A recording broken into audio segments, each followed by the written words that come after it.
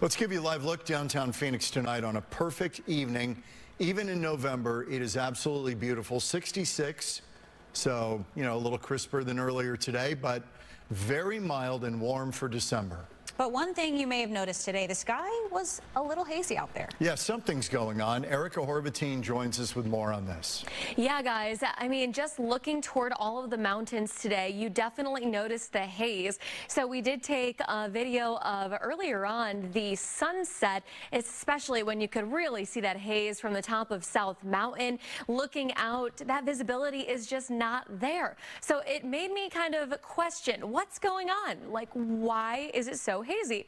Well, as it turns out that the only thing that could be moving in through the area is just smog and pollution. So let's talk a little bit about that. We did see lower air quality today. It was moderate across the city and I'm sorry, and then it was even unhealthy for sensitive groups a little bit further south of the mountain, closer to Casa Grande. And now when we do see those moderate and unhealthy air qualities, a lot of times, including today, it's because of high levels of particulate matter.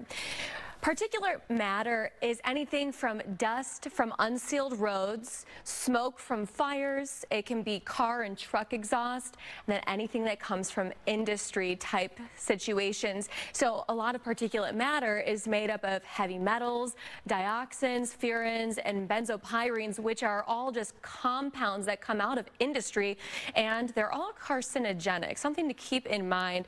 But our air quality is moderate, so that means that it's not as bad as it can get. However, check this out.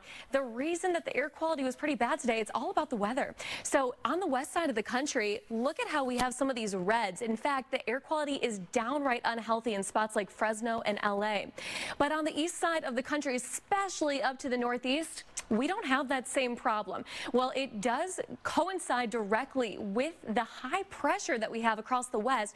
So underneath high pressure, air sinks. That means the air becomes more stagnant and we see a lot of that pollution getting trapped closer to the ground. Meanwhile, out to the northeast where we didn't have any pollution problems, you have low pressure where air rises and it moves right along. So it's not just sitting there. Now, as we go through the next couple of days, we're going to be stuck in this situation. So that means more moderate air quality, but eventually we will get a storm to move all of that out by early next week. And we'll have a look at that in the full forecast. Back to you guys. Okay. Erica, thank you.